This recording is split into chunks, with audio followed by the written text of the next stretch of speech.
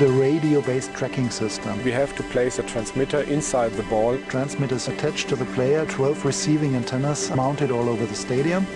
The player can benefit from the technology because he gets some objective information back on his physical performance and also his behavior through a whole game and help him to improve during a game and during a training session. You could compare the development of a player over a whole season, which is not possible for others, so it will be a huge advantage.